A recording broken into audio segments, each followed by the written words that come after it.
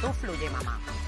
Estamos listos para el debate entre nosotras. Que se sienta. ¿De qué vamos a hablar? Cuando termina uno una relación, ¿hay manera de terminarla sin realmente no lastimar a la otra persona? Mm. Ay. Tengo mis dudas, pero para eso está nuestra experta Jennifer Flores. Gracias. Que, que nos va a ayudar a entender, porque obvio- he escuchado a muchas personas que dicen que tú deberías de terminar una relación como entraste. Entraste con amor, entraste con emoción y así deberías de terminar una relación.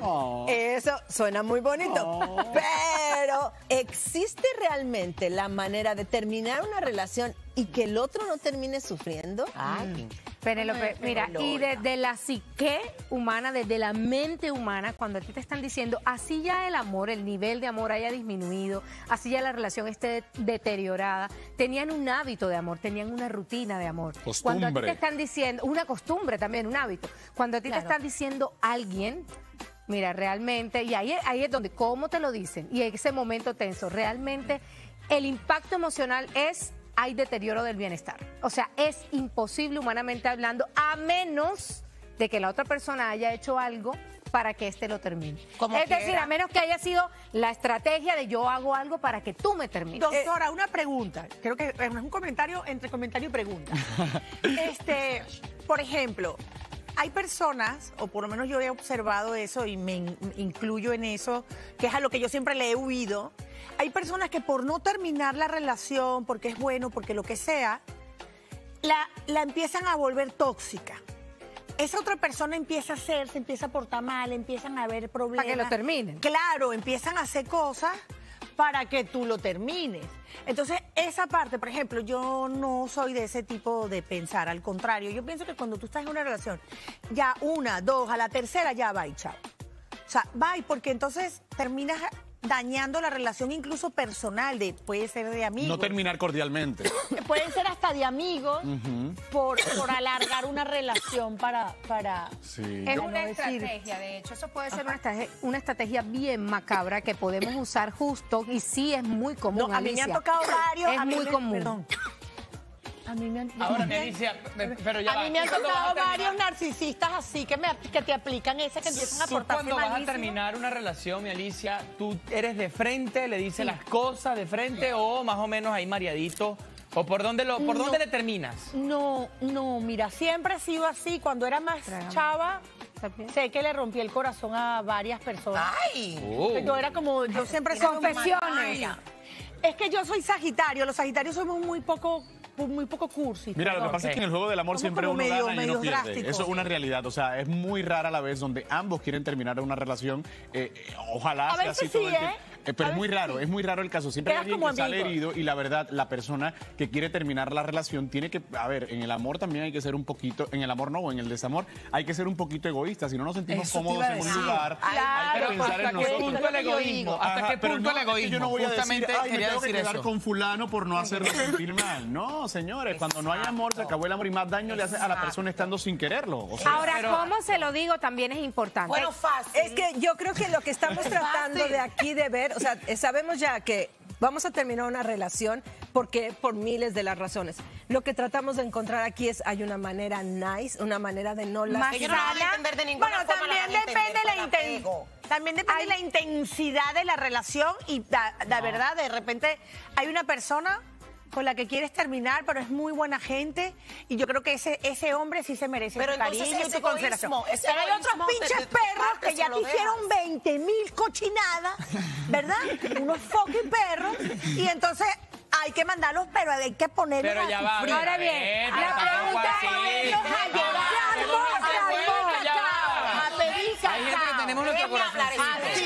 A ver, a ver, chicos. Ahora te voy a dejar y te voy a destruir. A ver, hágale. Ok, Bueno, este, este era otro tema. Vamos al detalle. Alicia.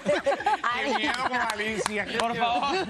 A ver, luego, chicos, luego. No, Chicos. porque si se portan mal contigo. Por eso, pero lo que estamos aquí tratando de encontrar Ah, no, es cuando de Dios, obviamente no. es ese tipo de relación y es en la que tú de tratas de, dejarlos medio bien.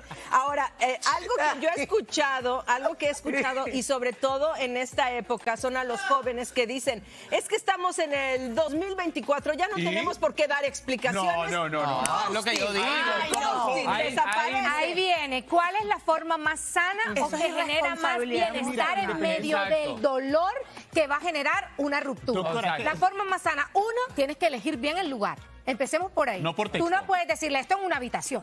Ah, por no, ejemplo, por donde puedes propiciar incluso la intimidad y puedes llegar a la intimidad por lástima. Eso es real. Ay, pero esto es más rico así. Esto. Ya lo contacto, y en el contacto es donde va a continuar hiriendo a la Bueno, pero persona. capaz te das luego cuenta en el despedida. contacto de Ay, que eso dale, puede despedida, seguir. No Mi amor, Luego Una vez pero lo que ella dice tiene mucha razón. El Claro. problema No es- juntemos una cosa con Pero la. Carlitos, imagínate que a ti te termine No, ya me ha pasado. Y- en una habitación y entonces la persona puede no, en la empezar, no no. la terminemos, puede Pero mira, lo mejor un es que te no corten de llevar a cabo la raíz. ruptura. Lo mejor es que te corten de raíz y es cuando mejor uno sana. El problema es cuando uno sigue en el tira y no, cuando te corten de raíz, o sea, que literalmente te deje y te dejes de ver y no tienes que bloquear a la persona de pronto para no tener contacto. Porque qué pasa que cuando continuamos en el contacto, porque tú presuntamente quieres a la persona, estás hiriéndola más porque le estás dando esperanza. Yo conozco muchas amistades Ahora que viene con la cómo, Carlito. ¿cómo le digo eso? Sí. Ahí viene, yo ¿cómo le digo eso? Yo creo que eso es lo que tenemos que escuchar, porque Eso el problema es que no te lo dicen. Hasta inclusive te llegan a decir, No, bueno, sincero, dame un tiempo. Ahí Y voy. ahí es donde Por ejemplo, no uses la frase, no uses la frase, no eres tú, soy yo, que duele más. Ush. Dos, Sí. la la- no empieces a culpar, o sea, voy a terminar esta relación porque tú hiciste esto, porque tú tal cosa, porque tú tal otra. No. Ay, Termina amiga, la relación. sabes. No, amiga, pero hay que herirlos de alguna manera. No, si te no, la no, hizo, no. Voy. todo. Hay que lastimarlos de alguna forma. A ver, hay No, formas no, de no, no, cambiar. nuestro corazoncito. A ver, no te lo escuchamos. Hay formas, no, yo, yo entiendo. Aquí lo único que queda claro es que ninguno sabemos terminar una relación. Aquí está esto. Mira, yo pienso, Si yo no podemos en comenzar una conversación, ¿cómo vamos a terminar una relación? Mira, a lo Gabriel Soto por WhatsApp y ya está. Ay, Dios mío. la Aplica de Soto, tácata. Que No, te no, no. WhatsApp y chao. eso, eso, te dijo, no me acuerdo, te bloqueo eso deteriora más el bienestar de la persona con la que estás terminando. Claro. Un texto, un correo, una llamada, no son las formas De adecuadas para Claro. terminar. Son las más cómodas, sí, son las más fáciles, Es sí, irresponsabilidad. pero es Es irresponsabilidad es egoísta. tanto amaste a una persona, no puedes ser tan irresponsable como para deshacerte de esa persona como que si fuera un pinche mueble. Da la cara. Exacto. Exactamente. Ahora, también hay, hay que ser, porque también hay, hay a veces mujeres que se ponen muy locas. O sea, que cuando el hombre les dice, Sí, oye, hombres. mira, por favor. Pero entonces a sería terminar". un- lugar ¿Cómo se público. pone? A lugar público Yo, sin amor, usar las palabras no eres tú, soy yo, sin culpar, porque Te- te vamos a... termino yo y ahí viene otra cosa. A mí Cuando, no dilo A mí contundente. tú no Tú me ahorita dejas. decías algo, termina de raíz, pero ¿cómo lo hago? Dilo contundente. No empieces dando la introducción, la justificación. Eh, ¿Por qué? Porque le das un largo a la tensión emocional y la otra persona está taquicárdica, con la, el cortisol exagerado. No, y en el amor siempre uno va a Incluso, va a sonar exagerado, pero en una ruptura, ese cortisol te puede llevar a un preinfarto. Maldito Mira. cortisol. Estamos... No, pero Y entonces, ya, ya te está subiendo. Regular. Tranquila, tranquila, Alicia. Regular los niveles está complicado. No, pero yo creo que lo que dice es clave y al final uno cuando entra en el juego del amor, porque la verdad al final termina siendo un juego, unos tienen éxito, otros no, uno sabe que se puede atener a las consecuencias de que seas la persona a quien dejan y, y yo creo que es parte de también un Pero poco de madurez es a la hora de humanidad, yo Mira, yo prefiero, yo siento que la persona tiene más amor por mí Gabriel, si me deja. Gabriel. ¿cómo, terminarías tú? ¿En qué lugar diciendo qué palabras? La cama. Primero en el cuarto, Diciendo, "No eres tú, no eres tú, soy yo". soy yo.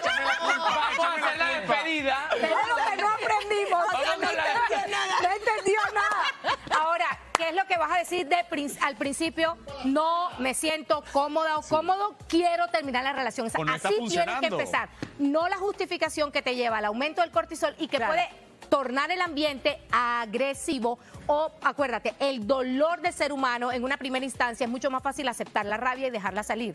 A Ese mí, dolor se transforma aquí, imagínate algo así que hace aquí y sale la rabia. Entonces, no alargues ese momento y di Oye. contundentemente, no estoy cómoda, quiero terminar la relación y luego de eso, entonces ya suaviza el pañito. ¿Cómo lo vas a decir?